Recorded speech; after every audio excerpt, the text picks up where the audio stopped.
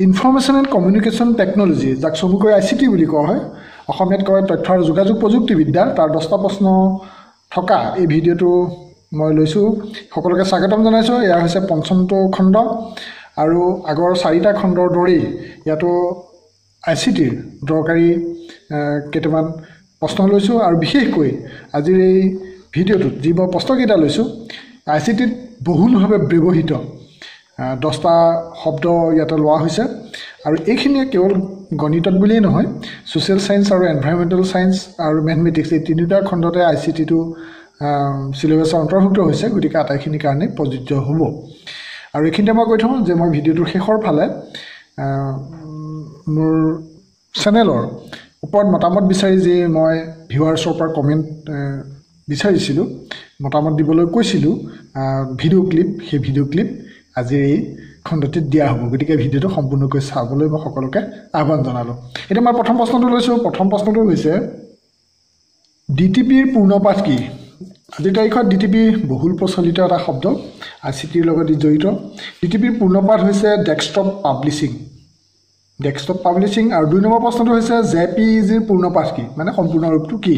J P ই G সাধাৰণতে কম্পিউটাৰত যেতিয়া কোনো ফটোৰ চাইজ চোৱা হয় যেতিয়া ছেভ কৰা হয় বা জে পি জি ফৰ্মেটত বা জে পি জি চাইজত কৰা হয় গতিকে J P G J P zero সম্পূৰ্ণ ৰূপটো জানিব লাগিব। এইটো এটা দৰকাৰী প্ৰশ্ন।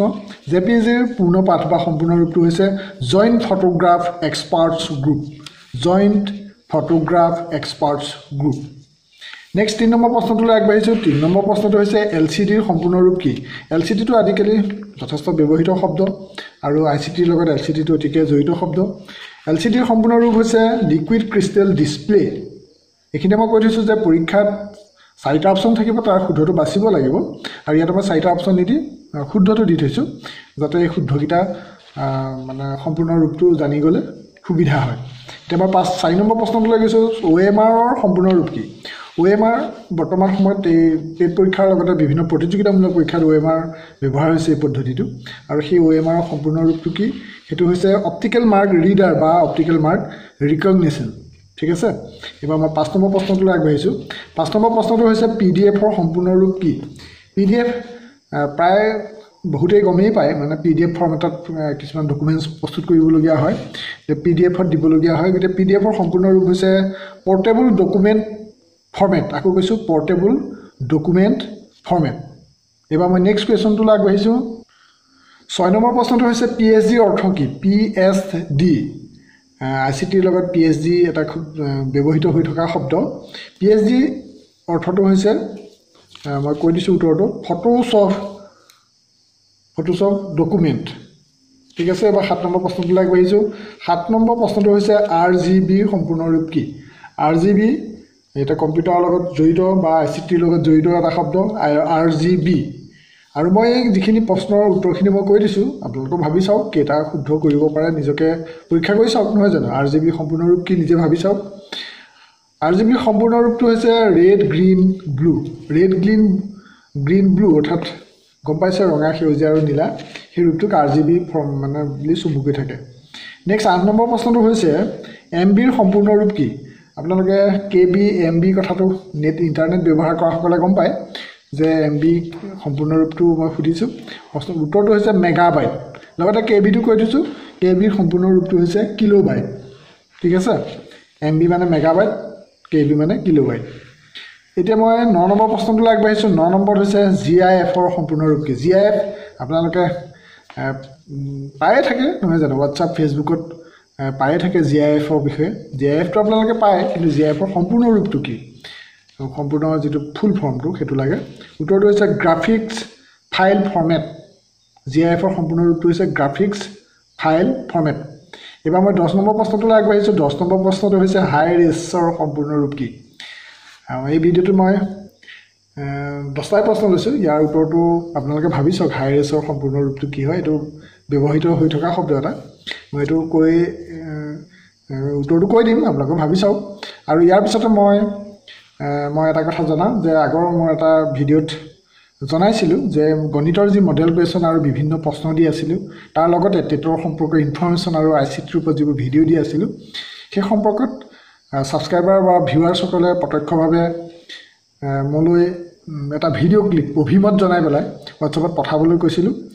বহুকেইজনে পঠাইছে আৰু প্ৰথম যিটো মই ভিডিঅ' ক্লিপ পাইছিলোঁ সেই ভিডিঅ' ক্লিপটো মই আজি ভিডিঅ'টোত এতিয়া মই দি দিম আপোনালোকে চাব পাৰিব। তাৰপিছত মই জনাই থৈছোঁ যে কোনোবাই যদি নিজৰ অভিমত জনাব বিচাৰে মই নাম্বাৰটো দি দিছোঁ eight six three eight zero' six seven zero' double six এইটোত কেৱল আপোনালোকৰ যদি কিবা ক'বলগীয়া আছে তেতিয়াহ'লে আপোনালোকৰ নিজৰ ভিডিঅ' এটা কৰি চমুকৈ মানে এক মিনিটৰ ভিতৰত কৰিব আৰু প্ৰায় আধা মিনিটমান হ'লে ভাল হয়। যিমান পাৰি চমুকৈ আৰু আপোনালোকৰ অভিমতটো জনাব। হোৱাটছএপত পঠাই দিব পাৰিব এইটো নাম্বাৰত eight six three eight zero' six seven zero' double six ঠিক আছে?